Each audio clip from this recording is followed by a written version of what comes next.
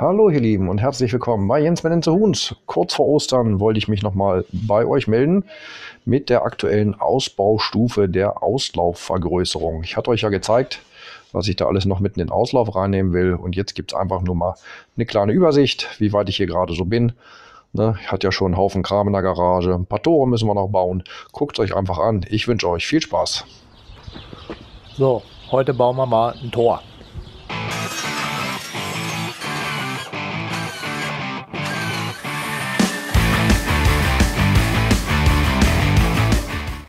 So, also da oben die beiden Ecken habe ich schon fertig. Wenn ihr euch jetzt fragt, warum ich die drei Löcher nicht mittig gesetzt habe, also das mittlere Loch, weil diese Schablone mir das so vorgibt. Hätte man jetzt auch anders machen können. Aber ja, bislang habe ich da gute Erfahrungen mitgemacht. Ich denke, das wird halten. Machen wir mal weiter. So, jetzt will ich euch das mal zeigen. So sieht das Gerät jetzt aus. Wie gesagt, mit den Verschraubungen das weiß ich noch nicht so richtig, ob ich das so gut finde. Die Schraubenköpfe stehen ein bisschen raus, was natürlich auch dadurch äh, kommt, dass es nicht sehr dickes Material ist. Ne? Die Schraube geht ja hier praktisch schräg durch, bis in dieses Holz hier unten so schräg rein. Ja, da kann ich jetzt mit leben. Ähm, ich habe das eben mal übergemessen und die Diagonalen die sind jetzt auf beiden Seiten, jetzt sollte ich den Zollstock gleich mal umdrehen, die sind jetzt auf beiden Seiten 1,80 Meter. Das heißt, dieses Ding ist jetzt tatsächlich rechtwinklig und alle Seiten sind gleich lang. Ja, das ist schön. Da kommt jetzt noch eine Querstrebe rein, dann werde ich die Kanten noch verstärken. Man muss sein Glück ja nicht provozieren, da muss er noch Draht drauf und dann ist das Türchen schon fertig. So, da steht es.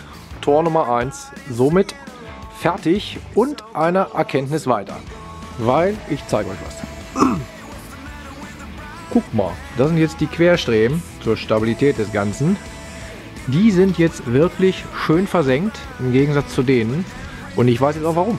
Ich habe nämlich einen Fehler gemacht. Bislang habe ich immer alles mit diesem Ding hier gemacht. Da spannst du mit der Schraubzwinge drauf und damit bin ich super gut klargekommen. Und das ist die etwas äh, proletenhafte, größere Version ja, was heißt proletenhaft? Also es ist halt praktisch, dass man halt alles anspannen kann. Auf jeden Fall bin ich damit scheinbar noch nicht so gut äh, unterwegs gewesen und deswegen sah das zum Teil nicht so gut aus. Mit der Materialstärke, das passt auch. Und hier kommt auch nichts raus. Und wenn man es weiß, ja, ne, Gefahr erkannt, Gefahr gebannt. Weiter geht's. Nächstes Tor.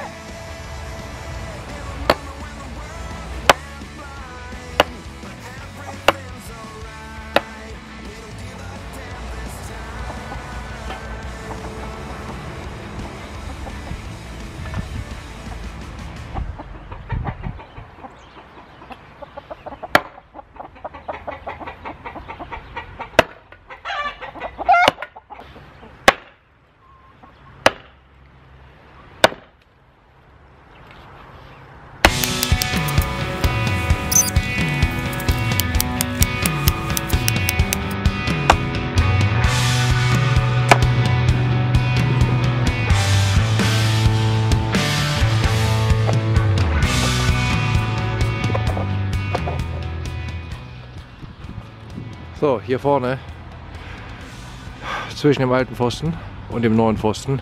Hier kommt das Tor rein. Hm, Habe ich mir so überlegt. Weil an dem eckigen Pfosten kann ich das Tor doch besser befestigen als an dem runden. Deswegen nehmen wir den gleich. Ne, dann ist es trotzdem, denke ich mal, wenn wir jetzt die Holzpfosten verfolgen bis da vorne an der Wand. Ich denke mal, ist doch schon ein schöner Kükenspielplatz. Ja, nicht lang warten starten. Jetzt geht's hier weiter.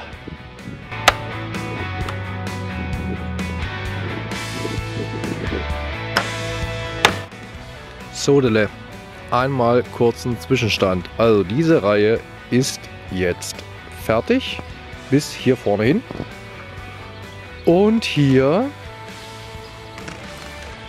na, muss ich den Geflügelzahn so ein bisschen umstecken hier. Und hier vorne habe ich auch schon mal ein bisschen angefangen bei diesem Pfosten. Das ärgert mich ja volles Brett. Da ist unten das Fundament von der Mauer und die letzten paar Zentimeter ist der mir sowas von abgegangen. Das hat jetzt mit gerade nichts mehr zu tun. Aber nicht zu ändern. Dann ist es jetzt so. So, von hier einmal quer rüber. Da kommt dann noch einer an die Hauswand. Und hier steht schon mal mein Türchen. Na, das habe ich immer vorgehalten. Um zu gucken, wie das ist mit dem Abstand und so. Jo, morgen geht's weiter.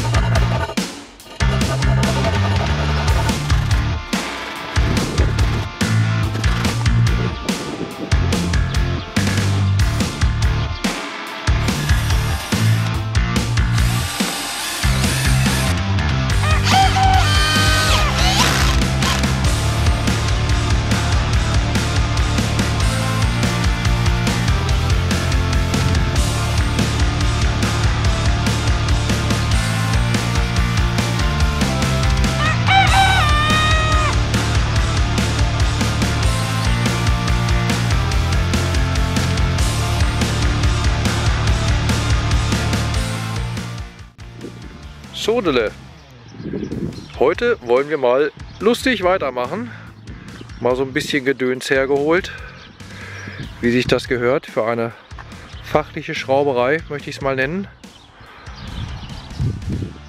Jo. Viel Kram, viel Arbeit. Heute scheint die Sonne. Werde ich jetzt mal voll ausnutzen. Und los.